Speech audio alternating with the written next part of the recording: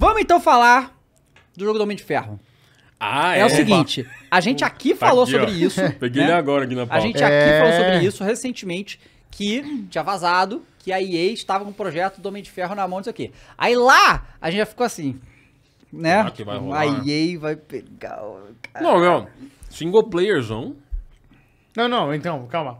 Foi mais um vazamento confirmado. Mais um vazamento Só falta confirmado. agora Pantera bizarro. Negra. É, e aí, É, e aí assim, Negra. a gente imaginava um... um- Mas ah, calma, vai ter o jogo do Vai, Pantera mas aí não é da Negra, EA. Mas não é da EA, É, verdade. exato, exato. É, Verdade, é. vai a, a- o, o jogo do Iron Man, aí, cara, tem, tem tanta bandeira vermelha nessa história que, tipo, vamos lá.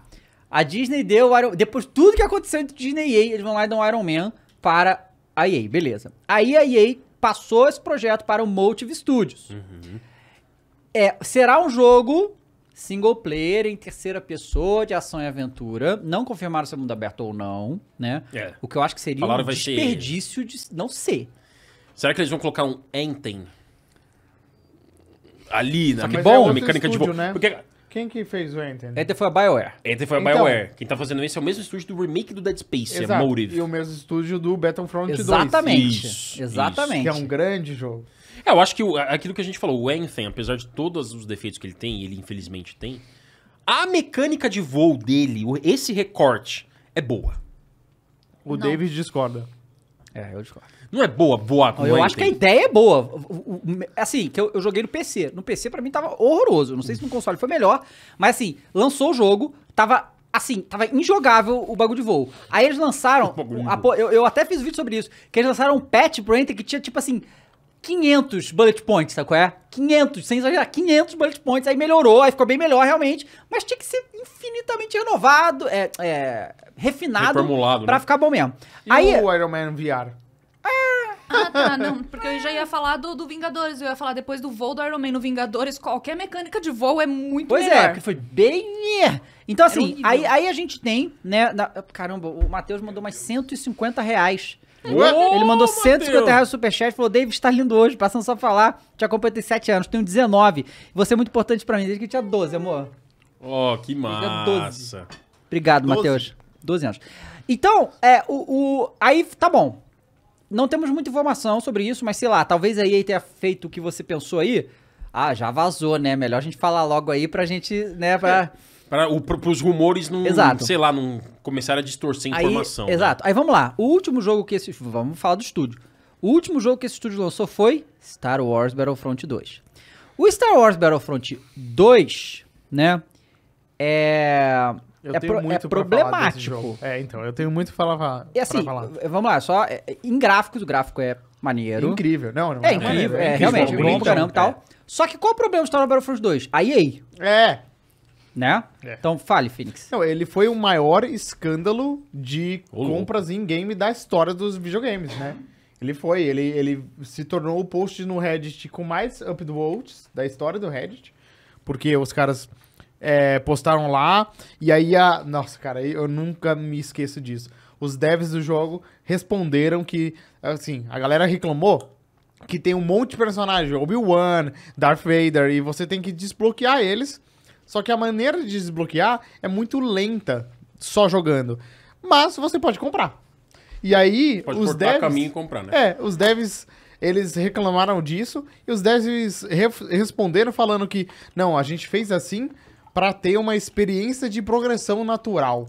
E aí todo mundo ficou puto. Falando, 200 "Não, não, horas pra como liberar um assim?" boneco. É, Porque- 200 horas não- pra um, né? Porque tem 90 Não, bonecos. mas é que tá. Nem gastando-me, cara. Você gastava em loot box. Ah, é, Então sabe isso. Deus quando você liberar o bagulho. É. É. Então, tipo assim, é o mais frustrante é que o jogo era bonito, o gameplay é legal. Ah, eu, eu ia falar isso, ele entregou errado mesmo. Essas aqui não é o que eu pedi mesmo. Ah, então a gente ganhou dois, dois. Nossa, então tem esfirra pra família aqui, né? De todo mundo. É. eu não quero mais, não. Mas enfim. aí. Ah, daqui a pouco nós pega. Obrigado, Fê. o... É, e aí você. O jogo, por ser legal, te dá vontade de jogar com o Yoda. Sabe? Uhum. É o Yoda. Porra! E, é, um- não? e é o modelo desses personagens mais bem feito da história dos games. Então você via lá, era muito foda, você quer jogar. Mas você não podia simplesmente porque era impossível. Ou você gastava muito dinheiro, ou não conseguia. E eles se negavam, esse é pior, se negavam a admitir que tava ruim o sistema. Eles Aham. acharam que era... Não acharam nada, cara. É aí que tá. A EA faz essas coisas e quem tem que responder são os desenvolvedores. É. Que foram obrigados a botar essa merda dentro do jogo. É. E aí, esse jogo causou a, a, a Disney de quase romper em definitivo com a É. EA. Né? Foi um escândalo. Tanto que eles tiraram os lootbox depois. É, foi- vocês foi- lembram foi que um a Disney escândalo. ela deu meio que um ultimato? Deu ultimato. Ela falou assim, e aí, se vocês não ajustarem as suas políticas e, e mecanismos que vocês estão colocando, a gente vai tomar outros caminhos aí na indústria. E a EA, É, ela... tanto- esse jogo também foi o que fez a Disney abrir o Star Wars pra outros estúdios. sim. Que era só da EA. Era só da EA, E aí exatamente. agora vai ter o jogo da Ubisoft, da Quantic também, Da né? Quantic, exatamente. É, eu acho que assim, ahn, a EA, ela tem vindo numa narrativa recente de tentar se ajustar com relação a essa fama que ela tem, que infelizmente EA é uma fama negativa que se acumulou ao longo dos últimos anos com relação às microtransações e políticas de loot boxes que foram implementadas nos seus jogos. Então, nós entendemos que existe um discurso de tentar se redimir por isso. Eu, o que eu acho? Palpite, tá? Lançando aqui. Eu acho que, ah, como não é um jogo como serviço, esse aqui, ele vai ser um jogo single player. Não vai ter um componente multiplayer, como o Battlefront 2 tem. Eu acho que eles podem não colocar nada de microtransação nesse jogo. É, o- Ah, o- você acha? Mas o Fallen Sim, Order... estou sendo, estou sendo optimistic. O Fallen Order tem. Tem. Microtransação. O e ele é single player. O Fallen Order tem, tem mas depois do lançamento que teve essa polemiquinha, eles ajustaram as microtransações. Certo. Eles deram uma... Um, eles, É, é pouquinho mesmo. Eles É, refinaram. mas é aquele é. negócio, né? Se ninguém grita, eles vão deixando lá. É. Não, exa- exato, eu acho que como teve muito grito ao longo dos últimos anos, eu acho que se eles de novo, EA, implementarem mecanismos de microtransação num jogo que já vai custar 60 ou 70 Ah, dólares, sabe, 70, sei lá, com certeza. né, com esse Mas reajuste isso daí de já é preço. uma, uma cultura da própria EA, porque você pega, É. sei lá, o FIFA. Gente, É, o FIFA, FIFA é só isso, é né? só microtransação. É. É. e aí, né, a gente. é, o que acontece agora? Eles anunciaram isso agora e, pra mim, botou muito mais pressão no remake do Dead Space. Porque imagina se esse remake sai cagado. Ah, esses cair na caras que do fazendo o jogo do, do Iron Man. É. Tá ligado? Vai. Uma pressão a mais que eu nem sei. Nem sei se precisava falar isso agora. A não ser, a não ser que eles tenham. Porque assim, se eles não tiverem nada pra mostrar desse jogo do Homem de Ferro, eu não sei porque falaram. Porque era melhor deixar passar o lançamento do Dead Space, ver como é que ia ser, não sei o quê. Mas independente, se o lançamento do Dead Space não for, é, vai, vai cair. E, assim, é de novo, o medo que eu tenho desse jogo é a EA. É. É. o que, que a EA vai obrigar fazer, esse desenvolvedor a fazer. Vai deixar os caras fazer o jogo no tempo que eles precisam fazer? Sabe? Não, Não, vai pressionar pra lançar. Não, é então. não, isso com Aí, certeza eu- não. Não vão deixar. Então, sabe? Vai ter que lançar quando eles quiserem. Mas qual o jogo mais a Multi fez? Além Ah, do então, Battlefront? É Star Wars Squadrons, um de nave, né? Ah, Isso. o Só, Squadrons. não que não lançaram. muita coisa, não. Exatamente, É. exatamente. Que É foi que- um jogo ok ali, É, né? É, eu ia falar que o Battlefront, ele tem uma campanha single player muito fraca. É, sim. O Battlefront 2. É, e detalhe Muito que eles fraca. tentaram, e detalhe que a campanha, esse é um bom recorte, porque a campanha foi uma resposta ao que não teve 1, Sim. É, né? Sim. E aí eles colocaram uma campanha que é até ok, né? Não é mas o, o- ruim. O, o Battlefront é um jogo estranho, né? Porque já existe o Battlefront 1, 2 e o 3. Isso.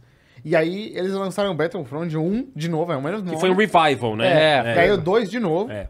E aí eu acho que morreu no 2 por causa do que aconteceu, porque senão eles faziam o 3 ainda. É, no- Mas a campanha do 2, eu lembro que na época eles criaram um hype, porque falaram, um, vai ser canônica, É. então vai ser uma história de uma imperial durante a queda do império, quando a, a, a Estrela da Morte explode sim. no final do filme 6, Uhum. você é uma imperial que tá lá no planeta de Endor, e você vê explodindo e você vai, é, pela primeira vez, ser do Império. Só que aí, dá 5 segundos de jogo, você já vira pros rebeldes e...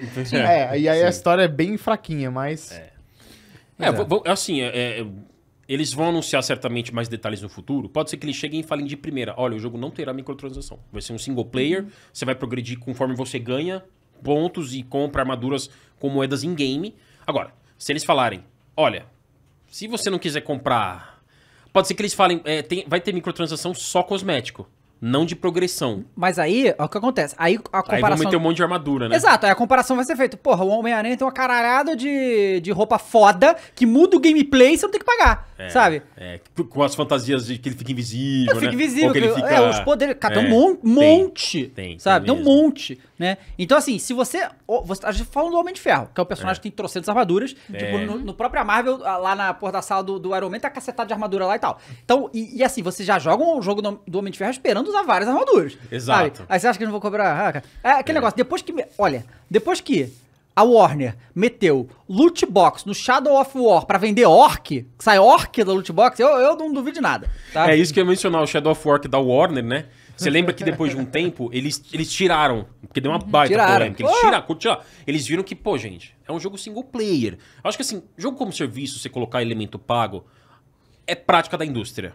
É cultural da indústria. Agora, É jogo single aceitável, player é aceitável, porque você é um live game e tal, vai se renovando, tal, tal, tal. Agora, Você tá no espaço ali compartilhado. Agora, um single player, você já tá pagando um valor cheio por ele. Geralmente, os jogos que são só multiplayer costumam ter um preço reduzido ou são free to play, É, free to play. né? tem muito. Exato. Aí eles cobram lá, beleza. Agora, um single player que você já paga ali 60 ou 70 dólares, Eu quero ser esperançosa e achar que, assim, de- depois de Rocksteady fazendo a série do Batman, ou de repente a Insomniac É. fazendo o Homem-Aranha, não tem muita margem pra erro. Tipo, eles já têm a fórmula do bolo. de que, do que não pode errar, né? Exato. Então, assim, É, mas eu você acho que- fazer um, um single player e focar ali na aventura realmente, que eles Isso. estavam falando que eles vão focar ali na É. parte do Tony Stark, como É. que é ser, né, um milionário, blá, blá, blá.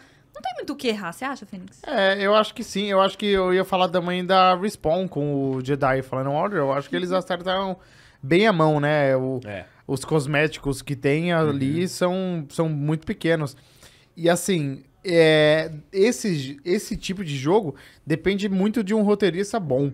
Mas, assim, muito bom, porque ele sempre vai ser comparado com o que tem nos quadrinhos e o que tem no cinema. No cinema, é. E é sempre um padrão muito alto.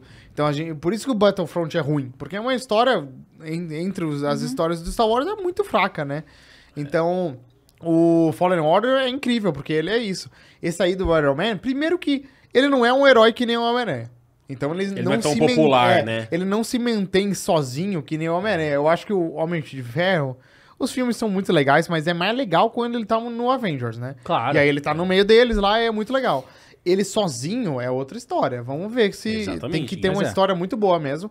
E assim, como que vai, a gente vai ver esse cara e não vai ser o Robert Downey Jr.? Não, Isso não é vai. muito difícil. Ah, mas é, os, os, jogos já dos Avengers já isso. faz, Pois é, é mas- estranho, né? Mas- não, mas aí que tá. É, isso é uma coisa que eles vão ter que lidar, Lidar, desde o é, início, é. porque reclamaram muito disso, porque, cara, a maioria das pessoas não entende essa porra de direito autoral, É. não entende. É, é. Então vão reclamar Exato. que não é o Robert Downey Jr., vão reclamar Vão. muito. Cara, né? isso é muito real, né? Você sempre falou isso. Tipo, a gente parte do pressuposto de que as pessoas vão saber que não é. As pessoas estão nem aí.